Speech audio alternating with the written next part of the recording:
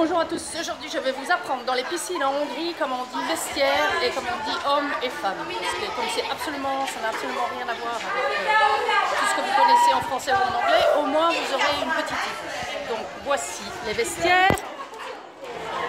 Vestiaire, ça se dit Öltözők. Ça s'écrit comme ça.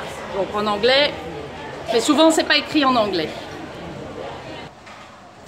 Donc voici les vestiaires femmes. Donc tout ce qui est NEI, N-O-I, c'est pour femmes. NEI Öltöző, c'est les vestiaires femmes.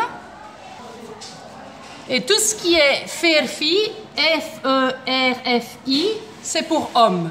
Donc Ferfi Öltöző, c'est les vestiaires hommes.